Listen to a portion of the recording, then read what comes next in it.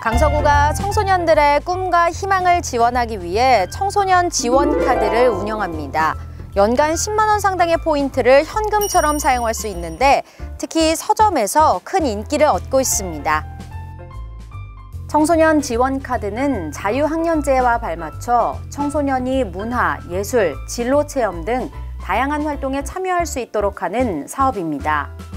지원 대상은 강서구에 거주하고 있는 중학교 1학년과 만 13세 청소년 약 4,200명이며 연간 10만 원 상당의 포인트를 지원하며 신용카드 기능은 없습니다.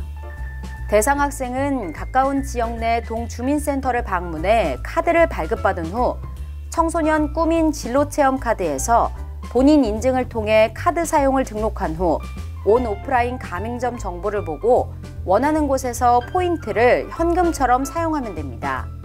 청소년 지원카드 사용처는 진로 직업 체험, 예체능 프로그램, 서점 등이며 청소년 지원카드 사용 제외 대상은 교과 과목 관련 서적, 사진관, 숙박, 운송수단, 놀이공원, 휴양림 등입니다.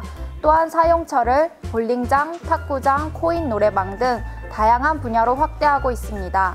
청소년들의 많은 이용 바랍니다. 강서구는 청소년 지원 카드의 원활한 사용을 위해 올해 탁구장 등 문화공간 사용처 12곳을 추가로 확보했으며 현재 88곳에서 사용할 수 있습니다.